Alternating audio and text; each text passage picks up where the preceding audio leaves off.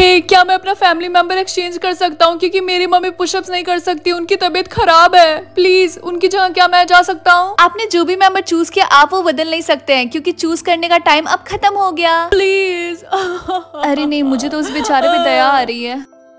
आपका समय शुरू होता है अब। यस यस पापा आप कर सकते हैं। अरे मम्मी पापा इतनी अच्छे से पुशअप्स और इतनी तेज कैसे कर रहे हैं? अरे रिंकी बेटा तुम्हें नहीं पता उस स्कूल टाइम में तुम्हारे पापा स्पोर्ट्स में चैंपियन थे। इनकी स्ट्रेंथ सबसे ज़्यादा थी स्कूल में। हाँ?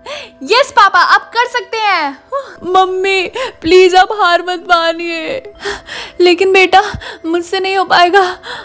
दस नौ आठ सात छ पाँच चार तीन दो ये एक। पापा जीत गए ये। यस पापा आप जीत गए। मैंने बोला था ना बेटा मुझे माफ़ कर देना।